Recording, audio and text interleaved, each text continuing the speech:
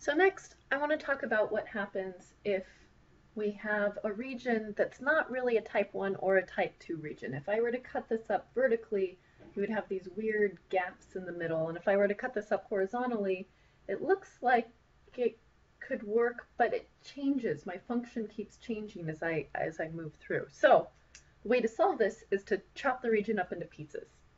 And I'm going to talk about cutting up the region into three pieces.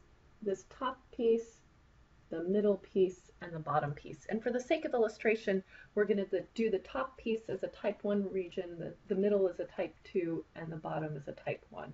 So first, let's talk about what the equations for these regions are. The inner circle in this case is a circle of radius 1, so that has the equation x squared plus y squared equals r squared, which is 1. That's the inner piece. And the outer one, maybe I put an arrow because it's the inner one.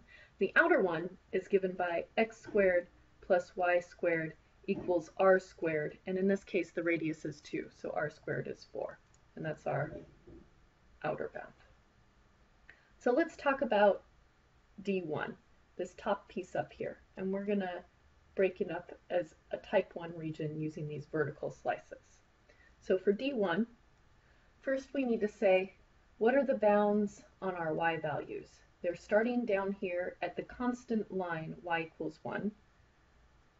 So 1 is less than or equal to y.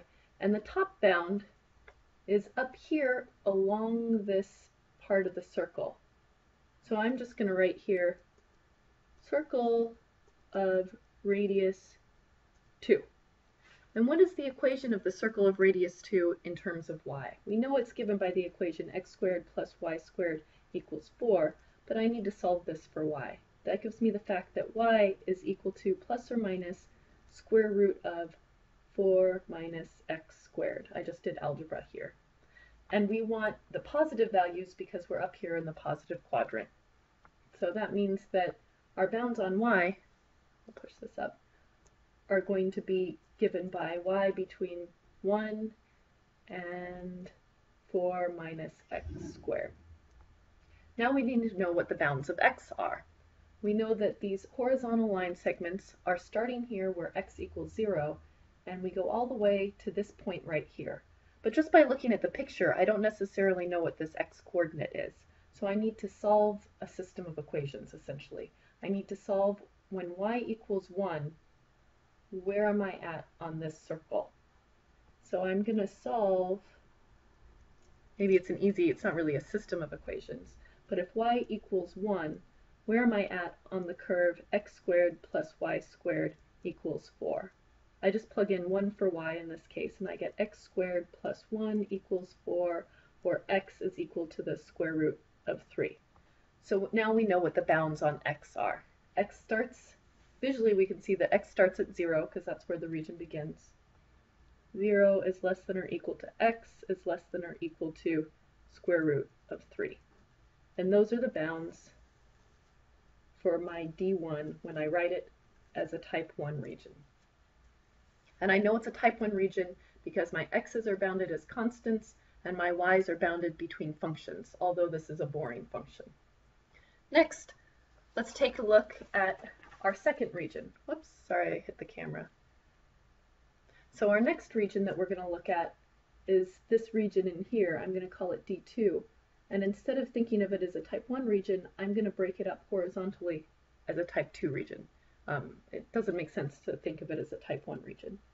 So D2, in this case, my x values are bounded by functions, and my x values are bounded from this smaller circle to the bigger circle. So let's solve each of these circles for x. We know that x squared plus y squared equals 1, that means that x is equal to the square root of 1 minus y squared. And that's the left-hand bound, whereas my right-hand bound is by the circle of radius 2, and so that means that my x is equal to the square root of 1 minus, no, 4 minus y squared. And so those are our bounds on x. What are our bounds on y's? We need to know how many of these horizontal lines are we adding up, and our y's are just going from negative 1 to 1. So as a final product, I could say that my x's are bounded from square root of 1 minus y squared to square root of 4 minus y squared, and my y values are going from negative 1 to 1. And if I were to set up an integral, it would mean that my x portion would have to be on the interior of the integral, and the y portion would have to be on the exterior, because we need constants on the outside. Finally, D3 I'll do quickly because it's going to be very similar to D1 up here. My D3 I'm going to think of as a type 1 region. Uh-oh, D3 you can't see. I need the picture.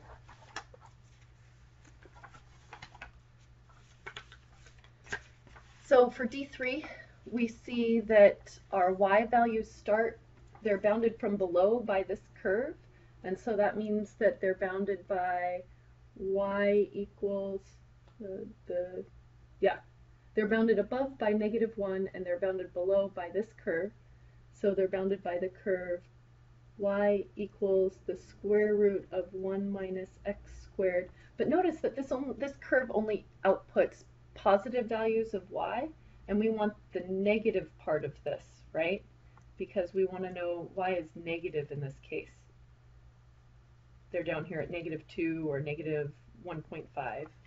So our bounds on y, this is our lower bound. y's go from negative square root of 1 minus x squared is less than or equal to y is less than or equal to, the upper bound in this case is negative 1. And our x's are boring again. I'm not going to solve it a second time. My x's are going from 0 ah, and they travel out until they hit this point, which is the same intersection point as above, the x value of square root 3. So these are our bounds on x's and y's.